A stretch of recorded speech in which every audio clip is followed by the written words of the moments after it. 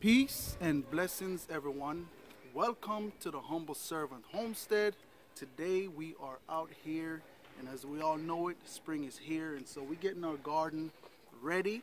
And so I'm gonna do a quick little demonstration of how we go about rowing our garden. And so, as y'all can see here, I got my my rows, and they are a little bit kind of wavy. But what I did, I had to go back in the box and pull out that little old trick and grab my uh, measurements so that way I can have and my string line so that way I can have some real nice straight row.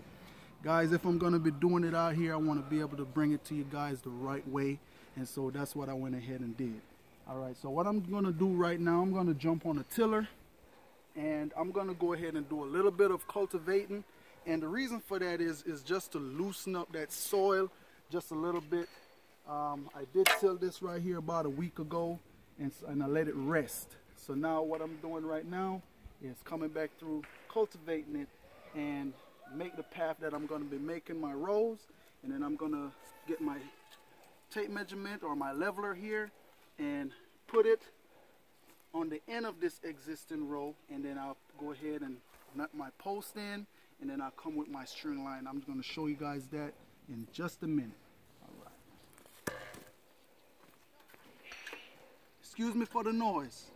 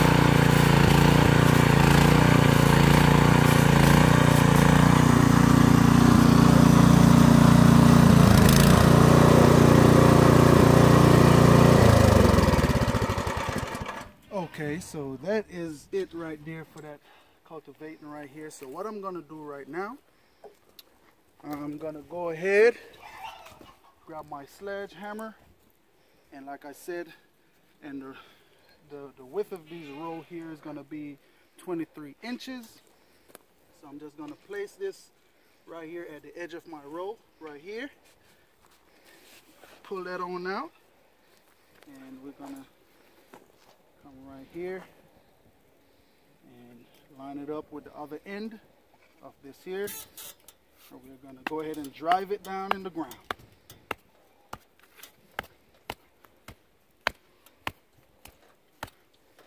And we're going to take our leveler here with our little measurement on here and do the same thing down at the other end.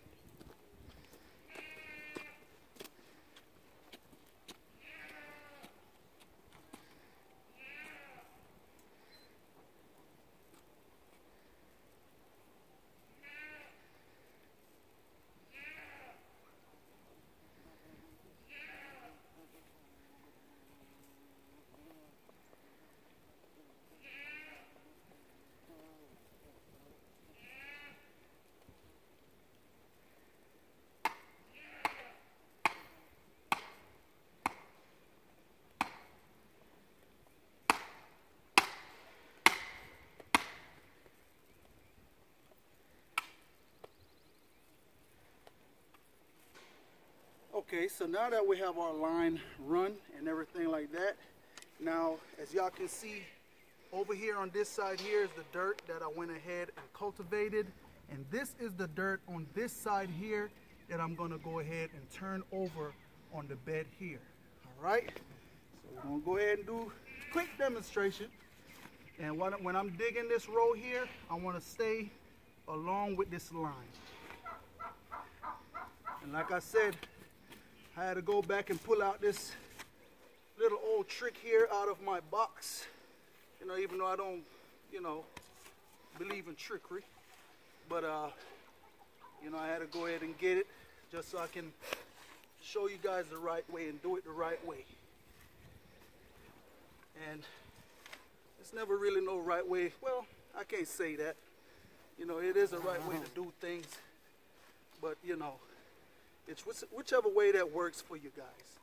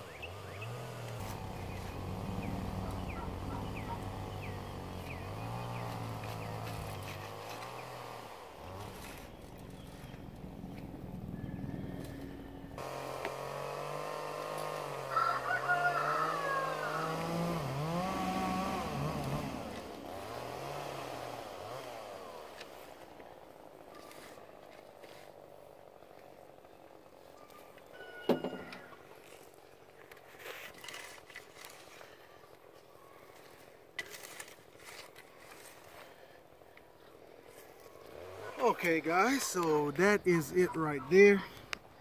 And, you know, I just worked up a sweat. That's always a good thing. But I just want to give y'all a quick little uh, reason why I'm on these beds up, beds up so high. Uh, after planting here last year, we have come to realize that the moisture, well not the moisture, but the top of this dirt here, uh, the sun would crust it over. And so we mount it up real high so that because when it crust over underneath that crust, it stay moist underneath there. So that's why we mount it up so high and that way the sun won't suck out all of the, the, the moisture out of the dirt. So, but that's it. And if y'all come on around here and look straight down this aisle here, y'all can see how defined the row is. And that is what we're looking for here on the homestead. Now what I'm gonna do, and I'm gonna take you guys along with me on that process there.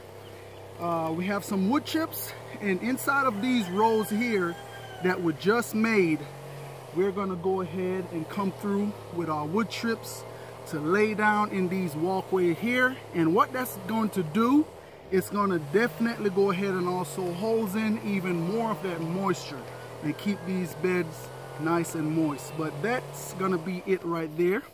Um, definitely want to thank y'all for stopping by the Humble Servant Homestead. And as always, peace and blessings to each and every one of you.